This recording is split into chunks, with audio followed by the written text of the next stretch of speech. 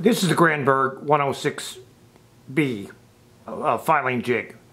It can be used to file uh, all types of, of, chainsaw chain that uh, will work on a handheld chainsaw. Um, it's a very nice device, in, invented in, uh, 1974, I think, by Elof Granberg, and has been improved over the years by uh, several generations of Granbergs. Sells for about $35. Uh, I'm going to show how to improve the device such that maybe uh, you're going to have a $100 part instead of a $35 part. But I think you'll, uh, if you're willing to do a little work on it, I think you'll find uh, that the improvement in accuracy and speed and the ability to work on all types of chain, including a square ground chain, is a, is a big asset. Now, this is a very sturdy device. It's, uh, it looks like steel, but it's pot metal actually. But nevertheless, it's extremely stiff, and you can tap holes in this. It's much easier to work with than the Oregon chain and much uh, stiffer. Now, first let me show you the, uh, the adjustments here. These are nice big dials, and you can read them quite well. And I make little bumps on this to raise and lower the height of the file uh, of about uh, 0.002 inch. So it's a, it's a pretty precise device and competitive with uh, with a grinder. Uh, grinder, if you had a really bad chain, your grinder would be a little faster, but uh, this device will uh, do the ordinary care and, and a little bit of dirt quite readily. Okay, this is the height. This is the angle for tilt, so we're going to control the tilt of the file. It's currently set at 25 degrees. And uh, this is the uh, top plate angle, or if you want to call it the swivel angle, that's controlling the, the file in that direction.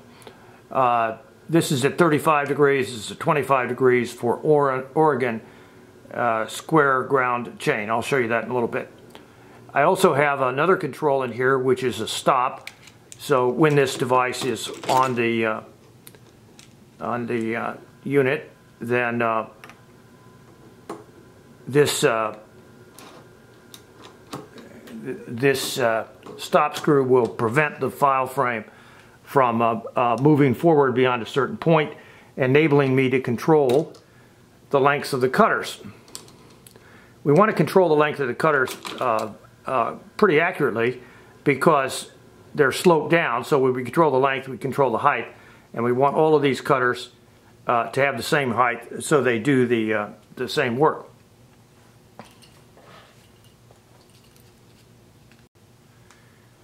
Let me just give you some information uh, here. This is a, a, little web page that I put together. It's not a commercial site. It's just a, a hobby of mine to, to, try to show how uh, how you can file a chain. I hope it was of some use, and that that's an email address. Now, let me give you a quick overview of um, of several types of common chain. This, by the way, I, I uh, I borrowed this uh, drawing from Madsen's uh, Shop and Supply. I bought a, a, very nice uh, uh grinder for them, and uh, they they but they put the draw, drawing together. In any case, this is a round chain, and it's filed uh, with the file going horizontally. This is a square corner chain, and sometimes called a, a, chisel chain. So it has a nice sharp corner. It kind of gouges out the chip. Usually, it's a 10 degree off horizontal uh, for that. Uh, it does a really nice job. It's much faster than the round chain, but you get most of the wear on the uh, corner. Uh, this is kind of the top level professional chain, which is a square ground. And you can see in the drawing that this face is flat, this face is flat, and then we, we usually have either the grinder wheel or the, uh, the uh, file going through here at a significant angle. Cuts faster and because of the superior design, cuts more uniformly with the whole face and therefore seems to get uh, uh, uh, dull uh, more, a little bit more slowly.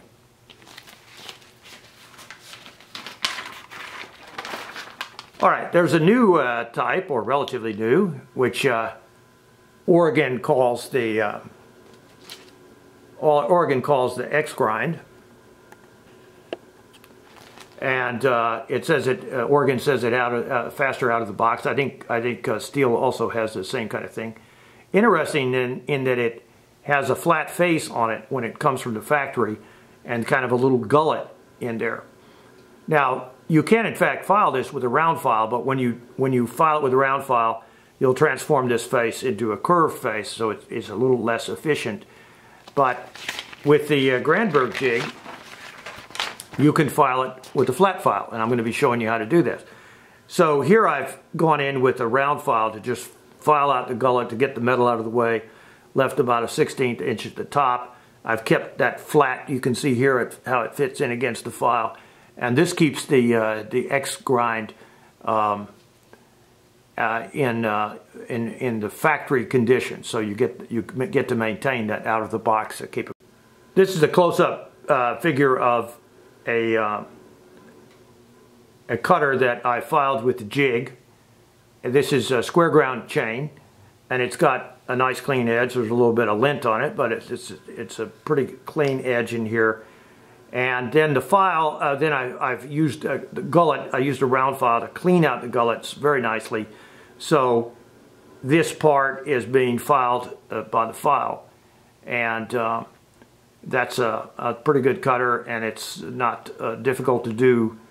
The speed for me doing round round filing and uh, and square filing is uh, is or flat filing is is about the same. All right, let me show you my little setup. This is a garage setup, and I wanted a cheap bar just uh, to stay in the garage, and then I happen to have a, a 32 inch chain uh, on this, so the chain is uh, is uh, drooping down here, but uh, doesn't really pose any problem. I like to tip the bar up, so when I look down this direction, I can see right into the cutter face and uh, see exactly what's going on with the with the cutters.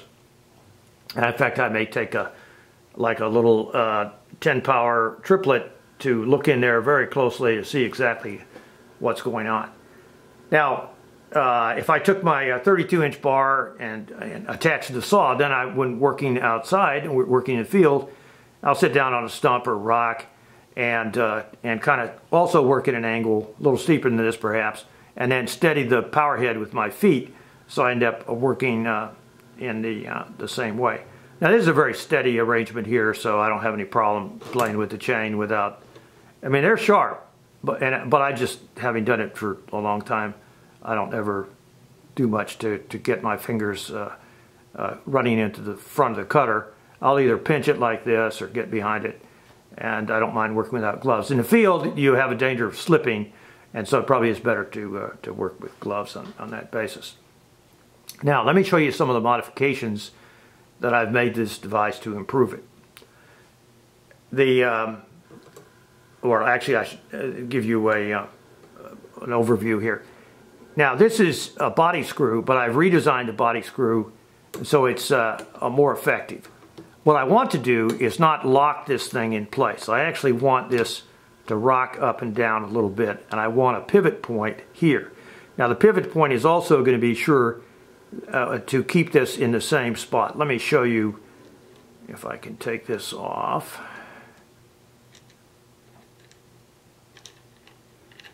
You can see there's a little cone point on the tip.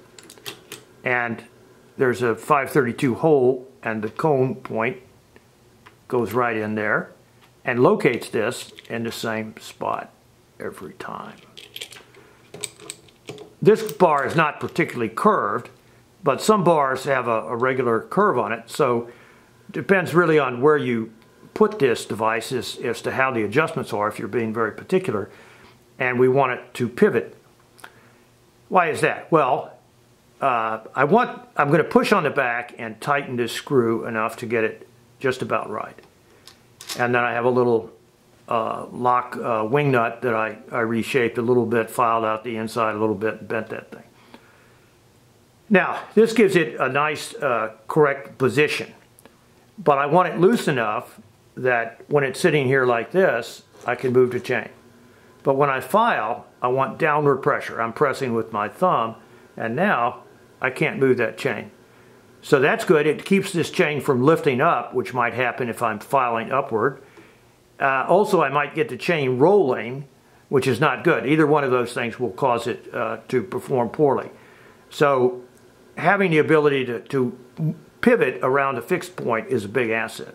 I also drilled some quarter inch holes in there and I can hook a little uh, rubber band on there. It gives me a little bit more positive, response. But I still tend to push down a little bit when I'm in, in the right position. So now this is loose enough that I can slide it forward or backward. Sometimes you want to go backward. And uh, the rubber band, it's, it's pretty goofy, but uh, it works uh, very nicely.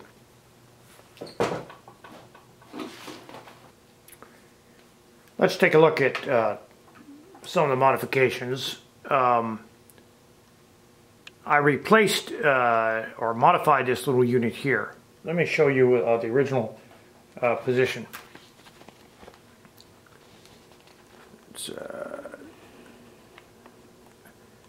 originally what was there is a, is a wing nut that's acting as a, a lock on the tilt mechanism and there's a spring in here which gives this uh, screw a little bit of stability but unfortunately when you turn that wing nut, it this uh, spring tends to turn the the uh, the screw and and you lose your place. And that's very irritating. So when you go from side to side, uh, you'd lose track of what you were doing and be in the wrong place. So I went with a very simple thing. I just took the spring out, put a, a hex nut, which is a 1032 uh, hex nut in here, and then I come down on the top of that with the uh, with the uh, a little stop screw and you can see here what this looks like. It's now very solid when it's engaged and I can loosen this like this and and uh, turn this to uh, whatever position I want and I can go in there and lock that and it's really solid. Um, much more uh, desirable arrangement. I've also done some other things here. I, uh, in order to work with the uh, the uh, square ground chain, I needed a, a larger angles here, so I I filed this down a little bit like that.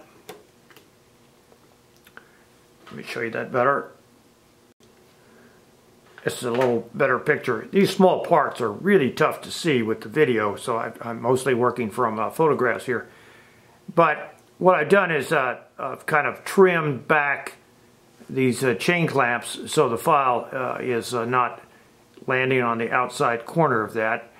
And uh, I, I basically pulled it back about uh, uh, 30 degrees and, and trimmed, uh, flattened it out a little bit so it fits uh, better in, in that regard.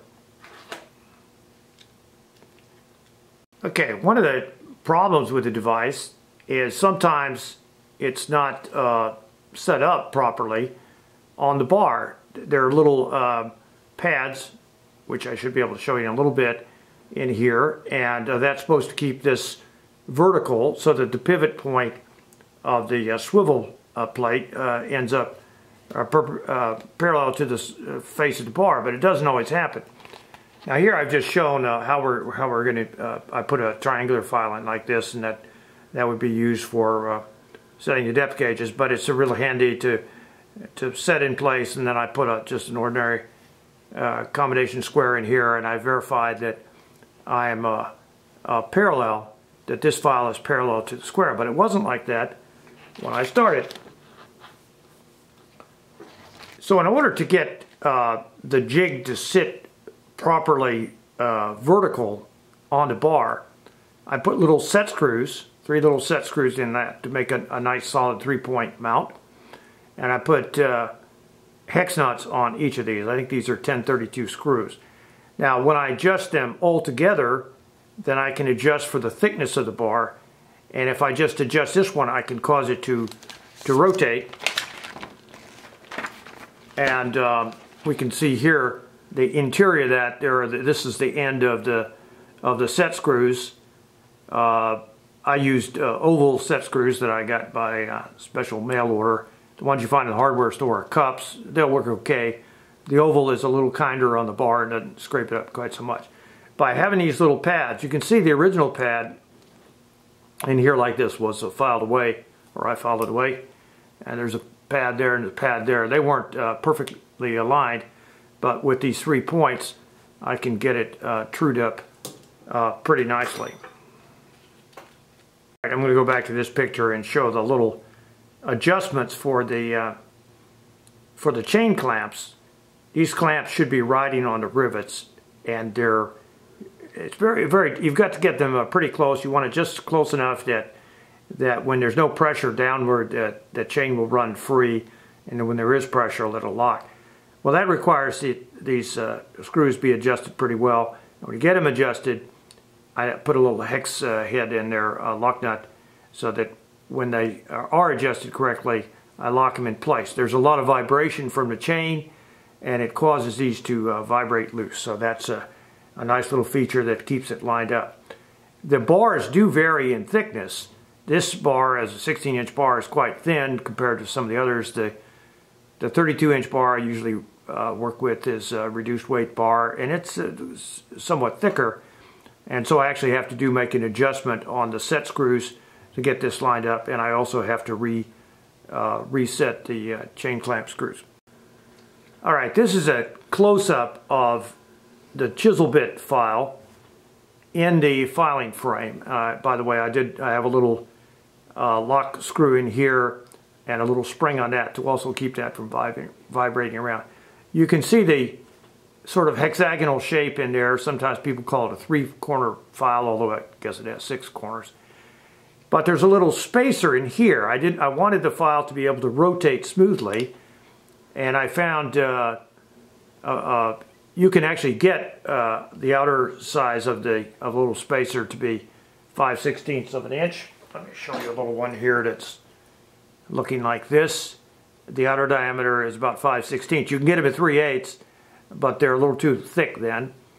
And the inside diameter in here should be just about 732. Now I, you can get uh, the 5 16 spacers and drill them out with a drill press but I found that at lumen, uh, aluminumspacers.com I could get a number 12, a spacer for a number 12 screw that was 5 16th the outside and 732 on the inside, just uh, perfect. And then I can get this moving uh, uh, uh slowly.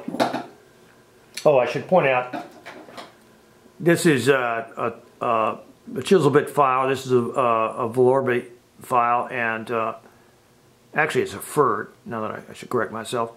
And I just glue these little uh, uh, spacers in place. They don't cost much. You buy a little bag of them, it's like 50 cents. Now, I have the, uh, the chisel bit file in place, and I've loosened up the, the both uh, screws. And what I want to do is set this to the proper angle. Unfortunately, it's very hard to see where the chain is down in here, but what I'm going to use is the, um, the swivel plate uh, uh, platform here, which is uh, nearly perpendicular or, or, nearly parallel to the chain. And I'm going to use a little swing arm protractor. And I set the swing arm protractor so it's perpendicular to that little joint there and then I go about 8 degrees off of it. 8 degrees seems to match what the factory does with the chain and it tilts this little surface slightly up. When I have that in place I come down there with that screw and now the angle is set right and I tighten the other one. So now I'm all set except for adjusting the height here's how we're adjusting the height. On the file, there's a ridge line like that. And on the cutter, there's another ridge line. So I'm adjusting the file height so that this ridge line intersects that ridge line. So I have the file in place and it's rotated the proper angle. I've got tilt done right, I've got swivel done right, and I've rolled it to the proper value so it's just a little bit up which uh, gives me the correct roll to match what the manufacturer did with this uh, with this chain. And I've tweaked it in so it's just the right height. I am tweaking a very, very small amount to get that in place because the height should be matched correctly. And now, I actually, after all that work, I get to do some filing. And it's uh, this, in this particular case, I'm filing up. Uh, I think there probably is a little bit of difference whether you file up or down, but I get good results either way. Now, let's say we uh, now want to go to the next uh, cutter. Now this is a skip chain, so I have to little, go a little further. And I get uh, that in place, and just file like that and so on down the way. Getting uh, hopefully uh, perfect little cutters as I go along. Now the speed to go from cutter to cutter is going to vary on your experience and your skill, but the, for me with uh, uh, this this chain sitting in a nice uh, on, a, on a nice vise and everything just fine in the garage, then uh, I can go from cutter to cutter in about uh, five or six seconds, and then I have to to switch sides. But when I'm working in the field, I'm, I'm easily twice that, maybe more like 10 or 12 seconds because I'm kind of juggling the bar and it takes a little bit longer. But I can still get this uh, chain sharpened uh, uh, pretty quickly. Uh, such that uh, I do a, a, fuel refill and then uh, sharpen the chain. Now let me show you how we're going to switch sides. I'm going to adjust this and I don't I've actually already marked the position with some whiteout so I don't have to pop up and look at the dial. And then I'm going to flip this guy over. And uh, come around there and I've got the little whiteout marks so I can go to the other side. And I advance to the next uh, type of chain and I'm in business. I will pop my head around and make sure that the height is close but it's very close and it's set up nicely it is about right to uh, to be filing uh, that chain. Now notice something interesting here, or that I didn't swing the handle across the chain because when I'm filing the other way up, I'm working on a particular ridge line and then I slope this down and twist it around. Still working on the same ridge line so I don't have to reset the rotation of this.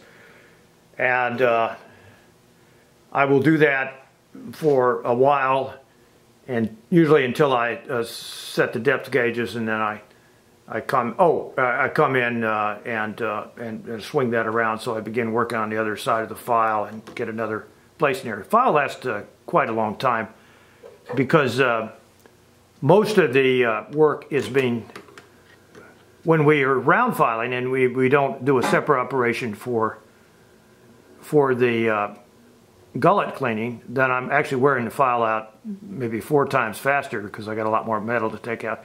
Here I use a special little round file to, uh, I'm just using a, a, 732 round file for my gullet cleaning. So only a, a, little, the top 16th of an inch is actually wearing out the uh, chisel bit file. They last a good long time. They're expensive. They're like somewhere between eight and eight to ten, uh, eight to twelve dollars, depending on how many how many you buy and so forth. But they they last uh, quite a while, and the cost uh, of the files is not uh, really a major factor. As you recall, with the chisel bit file, we had an, a, a, very precise way of locating the height. Now, just for uh,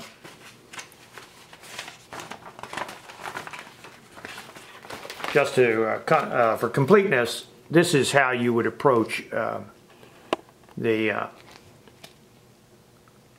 the setting the height of the round file. Now a lot of people just look at the height of the round file and look for the hook that's in the shape. But I like to do it very precisely and the Granberg jig allows me to do that. What I do is I first raise up the file and then adjust the chain under there so I'm just on the inside corner of a cutter with the bottom of the file. I may I kind of work the chain back and forth till I feel it scraping a little bit. And then I drop uh, about 0.185, sometimes 0.180, mostly 0.185. And uh, it is that precise. So I drop the file and now I should have the, uh, the hook uh, for round filing uh, just exactly right.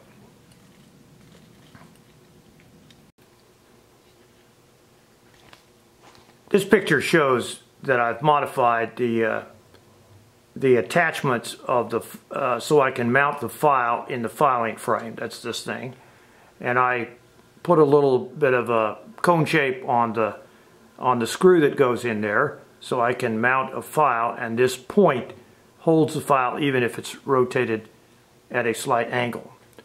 Now in this case, I've put a triangular file in there because I'm about to do depth gauges. And I found a nice set of files at uh, at Home Depot. I think I paid about seven bucks for this. Gives me a nice uh, triangular file with zero taper, just perfect for doing depth gauges. And then this file is pretty good for uh, giving a little ramp to the depth gauges. Now, I ended up having to take this plastic handle off so I could fit in the filing frame, and what I did is just heated it up with a heat gun until the red uh, plastic got real gooey and then just uh, scraped it off so I could get it into the frame. Uh, I also set the uh, angle using my little swing arm protractor and setting this uh, perpendicular to this uh, face here and I worked at two degrees which seems to give me this uh, this surface here pretty well perpendicular to the chain. And then uh, I come along and measure on the I measure to the top of the cutter. And then when I have that, I use the, the dial indicator here to drop, uh, I, the manufacturer usually say 0.025 inches. I usually go 0.03 because I'm cutting softer wood and that seems to work out a little bit better. This is a great way to, uh, to do these and when you have it set properly, Now I'm, uh, I've, I've dropped down and I'm sitting on top of uh, one of the depth gauges and I can verify that it's just lightly scraping along the top and it, it's and the file seems to be uh, pretty well level with that and I go through it and file each one of these and it, it runs along uh, pretty quickly. So now that I've uh, done my depth gauges, I will check to be sure that I, uh, to see what kind of uh, gullet cleaning I need to do. And uh, this is this is not a precision thing. I'm just making sure to get the metal out underneath, leaving about a 16 inch on the top, and run along here to uh, keep these guys cleaned up. Now that's depth gauges. Uh, maybe depends on how busy I am, I guess, but uh, uh maybe every other day or a little sooner if it seems uh, like it needs it. And uh, I usually do the gullet cleaning at the same time, unless it looks like it needs it. It does seem like a fair amount of work, but once you get used to it, it it zips right along, and you can keep this chain perked up really well. Now, if you're very precise, uh, then you're not reshaping these cutters each time. If you ride up and down, then then uh, you're wasting chain and wasting time and wasting money. But if you keep things very precise, the amount of material you have to remove is pretty small. When I've done uh, measurements over uh, several days, it seems like I'm losing about 0.002 inch per hour. Of course, maybe I'm just not very busy, but uh, it seems like I am. And uh, so the actual I, when I when I start for this chain, uh, the, the, uh, the this is uh, with the uh, with this chain you get 0.4 about 0.4 inches from the tip to the end, and of about you can use about 0.3 inches of that. So it seems like I'd run, uh, you know, close to a month on a chain. I don't think I ever have, because usually I hit some dirt somewhere along the way, but you can still work a long way with the chain. And just kind of tweak it up uh, every so often. Usually I tweak it up with the fueling because I'm sitting down on a rock pretty comfortable and, uh, and I'm enjoying the break as well as uh, getting the chain sharp. In any case, I hope this uh, is of some use. And uh, if you if you need more information, you can go to the web page or give me an email. Thanks very much.